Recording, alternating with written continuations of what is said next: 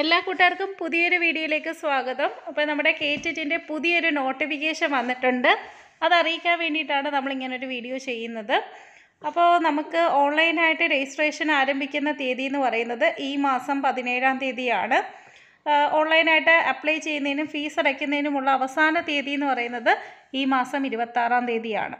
അതുപോലെ തന്നെ final print എടുക്കുന്നതിനുള്ള അവസാന തീയതി ഇരുപത്താറാം തീയതിയാണ്.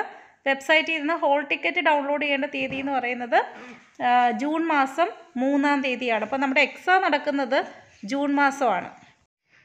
കാറ്റഗറി വണ്ണിനും ടൂവിനും ജൂൺ മാസം ഇരുപത്തിരണ്ടാം തീയതിയാണ് എക്സാം നടക്കുന്നത് ശനിയാഴ്ച.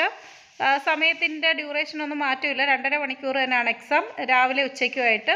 അതുപോലെ തന്നെ കാറ്റഗറി ത്രീക്ക് ഫോറിനും എന്ന് പറയുന്നത് ഞായറാഴ്ചയാണ്. ഇരുപത്തി മൂന്നാം തീയതി ഞായറാഴ്ച രാവിലെ വൈകിട്ടുമായിട്ടാണ് നടക്കുന്നത്. രണ്ടര മണിക്കൂർ തന്നെയാണ് ടൈം അതുപോലെ തന്നെ ഇത് നമുക്ക് വീട്ടിൽ ഇരുന്നുകൊണ്ട് തന്നെ ഓൺലൈനായിട്ട് അപ്ലൈ ചെയ്യാൻ നിങ്ങൾക്ക് അറിയാമല്ലോ അപ്പോൾ നിങ്ങൾ ശ്രദ്ധിക്കേണ്ട കാരണം നിങ്ങൾക്ക് ചിലപ്പോൾ കാറ്റഗറി ടൂവും ത്രീ എഴുതാൻ പറ്റുമായിരിക്കും.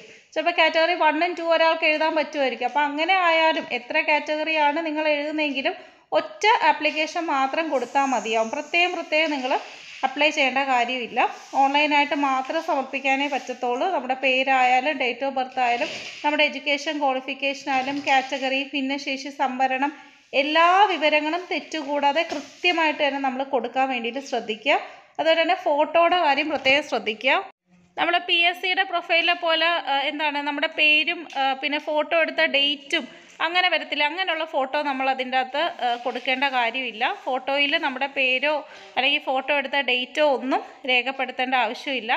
അതുപോലെ തന്നെ മറ്റ് സീലുകളോ ഒന്നും രേഖപ്പെടുത്താൻ പാടില്ല. ഫോട്ടോയുടെ ബാക്ക്ഗ്രൗണ്ട് പ്ലെയിൻ ആയിരിക്കണം. ഫോട്ടോ വളരെ വ്യക്തമായിരിക്കണം. അതായത് സെൽഫി ഒന്നും എടുത്ത് പോസ്റ്റ് ചെയ്യരുത്. അതുപോലെ തന്നെ പുതിയ ഫോട്ടോ മാത്രം അപ്ലോഡ് ചെയ്യാൻ വേണ്ടിയിട്ട് ശ്രദ്ധിക്കേണ്ടതാണ്. അപ്പോൾ ഇത്രയൊക്കെ കാര്യങ്ങളേ ഉള്ളൂ. നമ്മൾ ശ്രദ്ധിക്കാനുള്ളത് തെറ്റുകൂടാതെ എല്ലാ വിവരങ്ങളും കൊടുക്കാൻ വേണ്ടിയിട്ട് ശ്രദ്ധിക്കുക. സമയം ഒരുപാടുണ്ട്. അതൊന്നും വേസ്റ്റ് ചെയ്യാതെ സമയം പ്രയോജനപ്പെടുത്തി പഠിക്കാൻ വേണ്ടിയിട്ട് ശ്രദ്ധിക്കുക. Okay thank